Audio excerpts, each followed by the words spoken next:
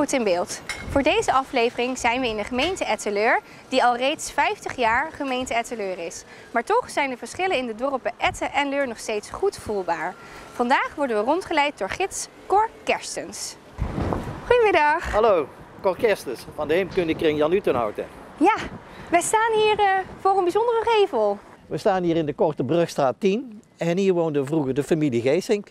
En de familie Geesink had hier, zoals je boven de gevel kunt zien, een zoutziederij hierachter. Maar die zoutziederij die werd een beetje te klein en toen besloten ze een nieuwe te bouwen. En dat hebben ze dus gedaan hier aan de Leurse haven.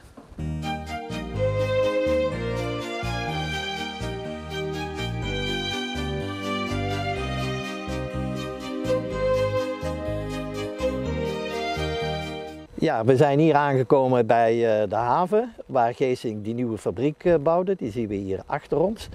Uh, die fabriek, daar kwam niet alleen dus die zoutziederij, maar hij begon ook zeep te maken. En het geheel werd aangedreven door stoommachines. Hierachter zien we, ons dus, zien we de fabriek staan. het lage gedeelte, daar zat het magazijn en de werkplaats. En in het hoge gedeelte, daar zat de fabriek met die stoomketels, hè, waar dus zout werd geziet en waar ook zeep werd gemaakt. Ja, de locatie aan de haven was ook heel belangrijk. Ja, zeker was de locatie belangrijk, want dan waren de aanvoerwegen korter. Hè? Want eerst moest alles nog hier gelost worden en naar de Korte Brugstaat vervoerd worden. Nu kwam het rechtstreeks van de schepen, ging dat zo naar de fabriek.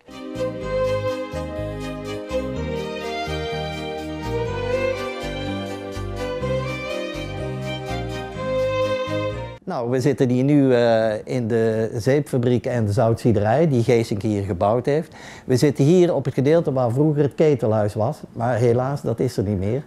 De rest is er allemaal nog, alleen het ketelhuis en de schoorstenen, die zijn afgebroken. Want de zout- en zeepziederij heeft hier uiteindelijk maar zes jaar gezeten, van 1914 tot 1920. Ja. En dat kwam eigenlijk door hevige concurrentie uh, verderop in het land. In Boekelo, in Overijssel, daar was men uh, inmiddels begonnen met boringen en uit zuidlagen die daar in de grond zaten, hebben ze zout opgepompt. En dat was natuurlijk veel goedkoper, want uh, ze hadden geen aanvoerkosten, net als hier uh, op de Leur. En dan is het grote pand ineens leeg. En wat komt er dan? Ja, nou het heeft maar een jaartje leeg gestaan. Want uh, toen is het gekocht door Boot Weegwerktuigenfabriek. Die begonnen zich te bekwamen in Basquiles. En ze gaven de fabriek de toepasselijke naam Weeg- en Werktuigenfabriek De Ster. Hè, zoals die hier in de voorgevel staat. Maar uh, tot de jaren 50, 60, toen de elektrotechniek uh, op kwam zetten, ja, toen was het toch wel min of meer gebeurd met de weegwerktuigenfabriek ook. En wat werd daarna de bestemming van dit pand? Na de mislukking van het project heeft het een korte tijd uh, leeg gestaan. En uiteindelijk uh, is hier een, uh, in het laaggebouw een restaurant gekomen en in de hoogbouw een internetbedrijf. Nou, tot zover de kernleur. Ja. Uh, en in Kern en Etten hebben we ook nog wat mooie dingen te zien. Ja, zeker.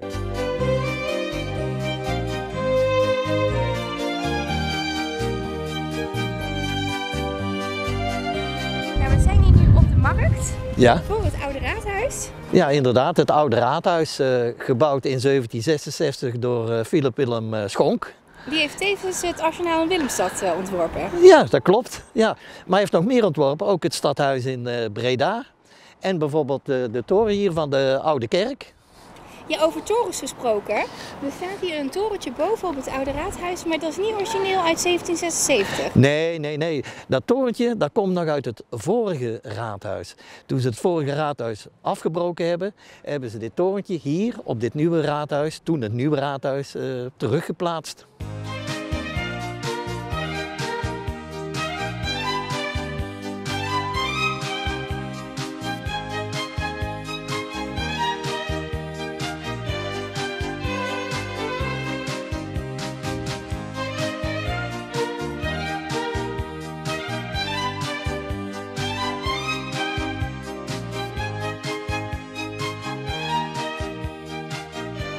Eh, deze kerk die wordt al vermeld in 1261. Etten is schatrijk geworden van de turfwinning. En dat uitte zich in die kerk. Die groeide van een kleine kapel naar een grote hallekerk.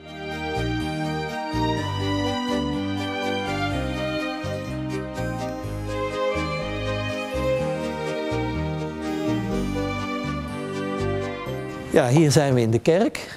We hebben hier een eh, maquette in 1584 hebben de troepen van Willem van Oranje, die kregen geen soldij, die lagen in Bergen op Zoom.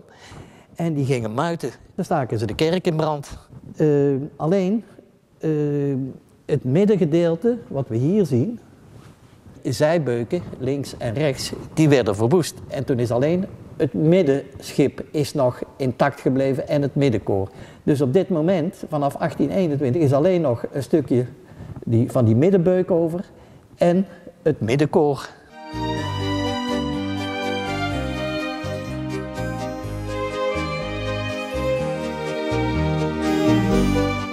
De kerk was oorspronkelijk natuurlijk een katholieke kerk, hè? want het protestantisme dat is pas veel later gekomen. Maar bij de vrede van Münster in 1648 ging de kerk, zoals alle kerken in de zuidelijke Nederlanden, ging over naar de protestanten. Dat heeft geduurd tot de Franse revolutie. Toen de Fransen kwamen met Napoleon, toen konden de katholieken hun kerk terugkrijgen. In Etten is dat niet gebeurd. Dus deze kerk is altijd protestant gebleven. In 1977 heeft de gemeente deze kerk gekocht. Want uh, ja, het was niet financieel meer te behappen voor de kleine protestante gemeenschap om deze kerk nog te onderhouden. Daarbij, ze hadden op Leur ook nog een protestante kerk. Dus alle twee die kerken die zijn verkocht aan de gemeente. En de, de protestanten hebben een nieuw kerkencentrum erbij gebouwd.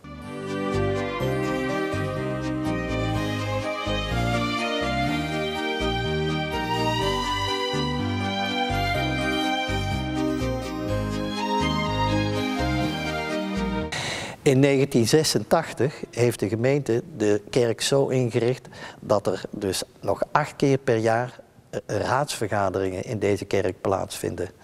Ook worden er nog maandelijks huwelijken in deze kerk voltrokken.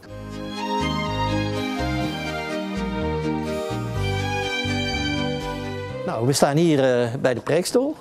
Die is ook uh, oud, die dateert uit 1580.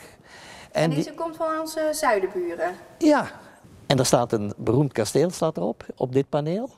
Dit is het steen. En je kunt ook nog ergens anders aan dit paneel zien uit welke stad in België die komt. Heb je enig idee?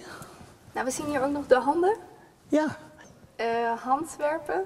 Ja, maar je spreekt het niet op zijn Brabant uit handwerpen, maar je zegt gewoon Antwerpen. Antwerpen. Ja, en dan hebben we hier nog de oude grafstenen tot 1957, voor de restauratie van deze kerk, lagen die over de hele kerk verspreid. Maar die hebben we nu naar voren gebracht. Het zijn grafstenen uit de 16e eeuw en 17e eeuw. Maar er zijn nog veel oudere grafstenen, die zitten achter in de kerk. En een van de bijzondere graven is het graf van de familie de Nobelaar. En de familie de Nobelaar, dat was een hele bekende familie hier in Etteleur. Die hadden hier nogal wat te vertellen. En er is onder andere ons cultureel centrum, de Nobelaar, naar vernoemd.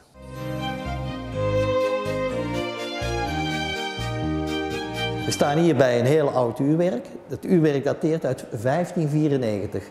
Maar zo lang staat het nog niet hier. Het komt uit de toren. Toen hier de nieuwe toren gebouwd is, omdat die Romaanse toren instortte in 1732, is ook dit uurwerk in die toren geplaatst. Tegenwoordig zit er een computergestuurd uurwerk in de toren. En er zit ook een carillon in. En regelmatig, bijvoorbeeld op woensdagmorgen als het markt is, speelt onze stadsbijaardier hier op het carillon.